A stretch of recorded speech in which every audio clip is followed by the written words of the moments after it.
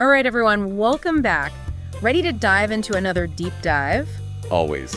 This time, we're tackling how to really master physics, not just memorize it. That's right, we really went in depth for this one. It like seriously deep. We've got stacks of notes, books, articles, you name it. We probably looked at it. From those classic textbooks to the latest research papers, we didn't hold back. But you don't have to sift through all that because we're distilling it all down to the good stuff. The need to know information to really excel. So whether you're a student aiming for top marks or just someone with a curious mind who loves to learn, This deep dive is for you. and let's face it, physics can be a bit intimidating. I mean, just the thought of all those formulas and equations. Yeah, it can definitely seem like a whole other language sometimes. Exactly. But what if we told you there's a way to make it click, to really understand it, not just memorize it?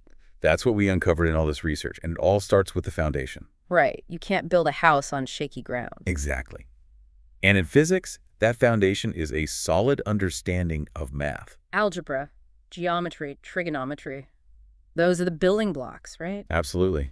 Trying to grasp physics without them is like, well, imagine trying to read a book in a language you don't understand. Okay, I can see that. It's just gibberish. Well- And that's where a lot of the struggle with physics comes in. Makes sense. So, what's the solution? Brush up on those math skills before diving headfirst into the physics world. Exactly. One resource we found particularly helpful for this is Preparing for General Physics by Arnold D. Pickar. Oh, yeah, I remember that one. It does a great job of connecting the math concepts to the physics ones. Right. It really helps you see how it all ties together Like, suddenly those formulas and equations start to make sense. because you understand the language they're speaking. For example, remember Newton's second law, EFMA? Oh, how could I forget? I used to stare at that thing for hours wondering what it all meant. But once you break it down, it's actually quite elegant, isn't it? It is, once you get past the initial fear factor. Right. And that's what we want to do here, demystify those seemingly complex concepts. So tell me, how does EFMA go from being this big, scary equation to something that actually makes sense? Well, think of it like this. Imagine you're pushing a shopping cart. The harder you push it, that's the force, Hmm. the faster it accelerates. right? Makes sense. But now imagine the shopping cart is full of groceries, so it's much heavier. That's the mass. You'll need to apply more force to get it moving at the same acceleration. Okay, so that's where the M for mass comes in. Exactly. It's all about the relationship between those three things. Force, mass, and acceleration. Wow, when you put it like that, it's like physics is happening all around us all the time. It is. And the more you understand those underlying principles, the more you start to see those connections. That's so cool. But how do we go from seeing those connections to really mastering physics, like acing those exams? That's where active learning comes in. You can't just passively read a textbook and expect it to magically sink in. Oh man, I wish it were that easy. Believe me, I've tried. It's about really engaging with the material, getting your hands dirty, so to speak. So like doing experiments, solving problems, that kind of thing. Exactly. It's about finding what clicks for you, because everyone learns differently. Some people are visual learners, some people learn best by doing right. Exactly. And the key is to experiment and find what works best for you. And don't be afraid to think outside the box. Physics isn't just about memorizing formulas, it's about understanding how the world works. And it's about having the tools to figure things out, to solve problems, to think critically. I love that. It's like becoming a physics detective, unraveling the mysteries of the universe. Exactly.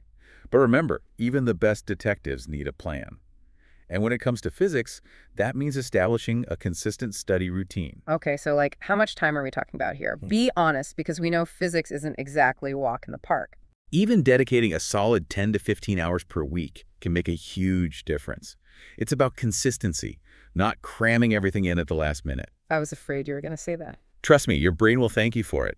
Spreading out your study sessions over time is much more effective than trying to cram everything the night before an exam. You're preaching to the choir here. I've pulled my fair share of all-nighters, and let's just say it wasn't pretty. Well, we're all human.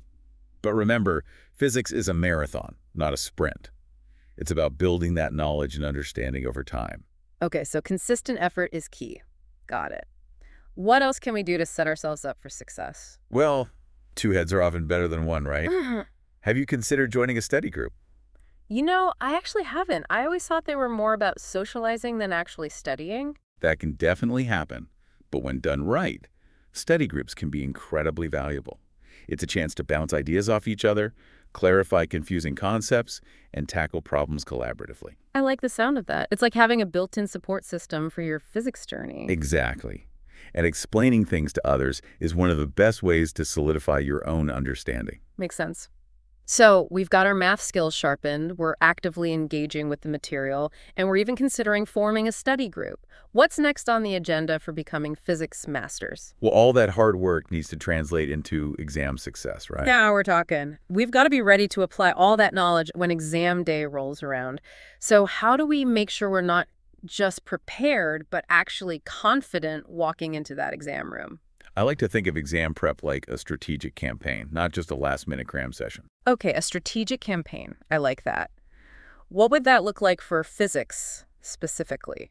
Well, it starts with that well-structured study plan we talked about earlier. Right, breaking things down into manageable chunks. Exactly. Setting realistic goals for each study session. And remember those active learning techniques we discussed. Definitely. Those were game changers for me. Absolutely.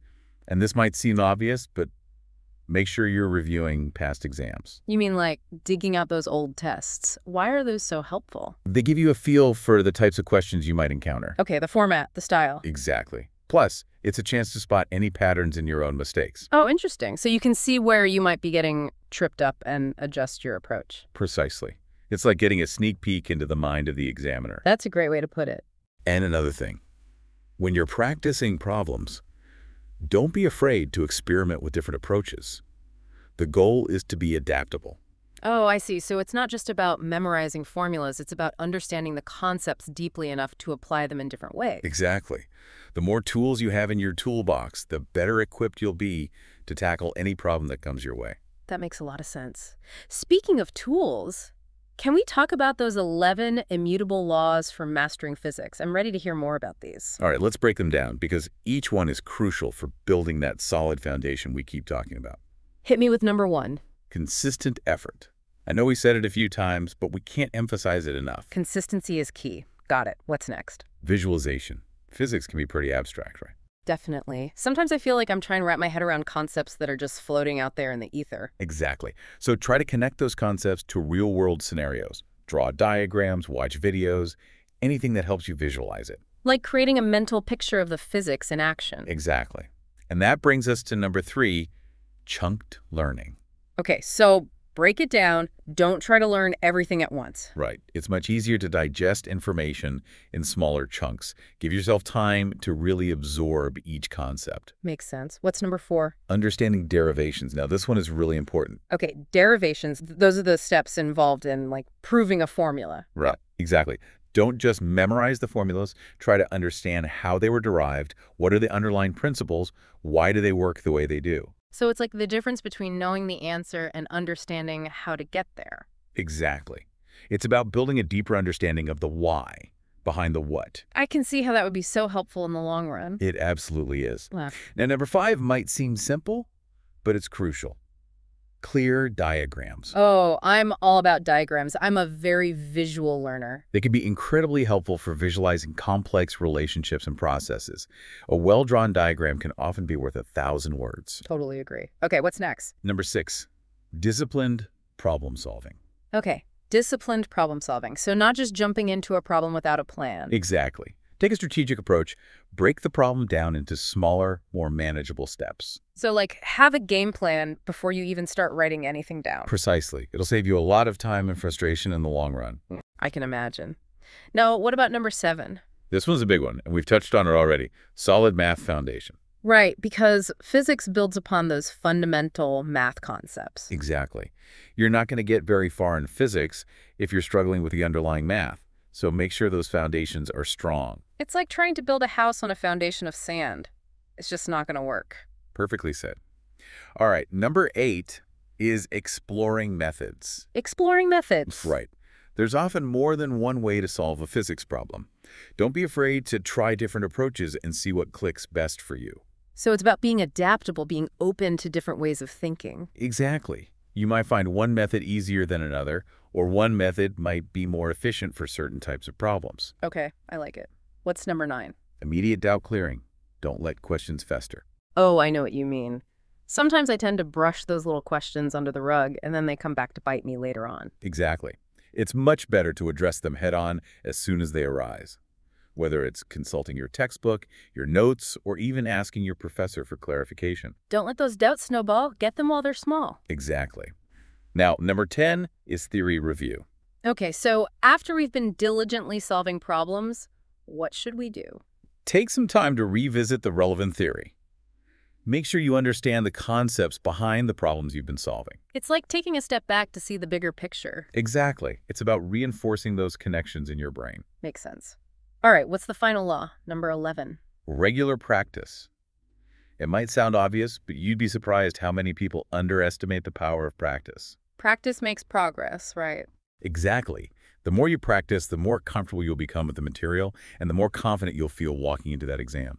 I love how practical and action-oriented these 11 laws are. It's like having a roadmap for success in physics. That's exactly what they are. But remember, it's not just about following a set of rules, it's about cultivating the right mindset. What do you mean by the right mindset? Approaching physics with a sense of curiosity, a willingness to embrace challenges, and a genuine excitement for uncovering the mysteries of the universe. It is kind of like having the right mindset for anything, you know. Absolutely. And that brings us to some additional resources that can help you on your journey to mastering physics. Yeah, because we didn't just talk about like theory and stuff. We found some seriously cool resources. We did. I think I actually learned a lot just putting this list together. Me too. Okay, what do we have first? Well, for starters, we can't talk about physics resources without mentioning the legend himself, Walter Lewin. His lectures are free on MIT's website, and they're pure gold. They're amazing. He's got this way of explaining things that just makes it click, you know? Right. He brings so much passion and energy to every lecture. And for those who prefer visual or interactive learning, Khan Academy is another fantastic resource. They have tons of videos and practice exercises that break down complex topics into manageable pieces. I love Khan Academy. It's like having a personalized tutor available 24-7. Exactly. And if you're looking for even more in-depth explanations and interactive simulations, there's a website called the Science Cube that's definitely worth checking out. Ooh, I haven't heard of that one. It's a great resource. They have a really cool section on relativity that I highly recommend. Nice. I'll have to check that out. You should. And speaking of simulations, have you ever used PhET? It's a website developed by the University of Colorado Boulder, and it has a ton of interactive simulations for all sorts of science topics, including physics.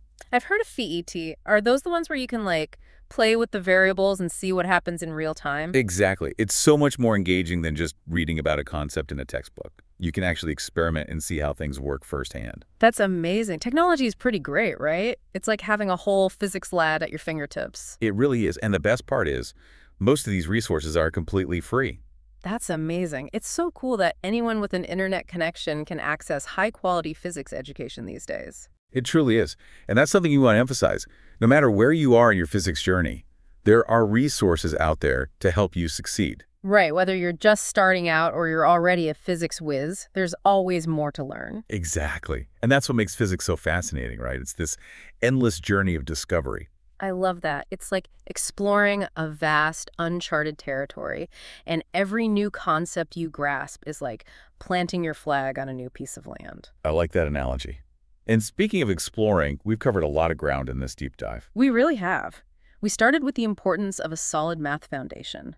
Then we dove into active learning techniques, explored those 11 immutable laws for mastering physics. And we talked about the importance of consistency, of not being afraid to ask for help, and of cultivating that growth mindset. Absolutely. And of course, we couldn't forget those amazing resources. So many great tools to help you on your journey. It's been quite a journey. And, you know, it's not just about acing those exams, although that's definitely a nice bonus.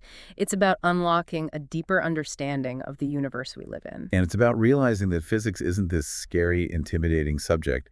It's a fascinating, beautiful, and often surprising way of looking at the world. Couldn't have said it better myself.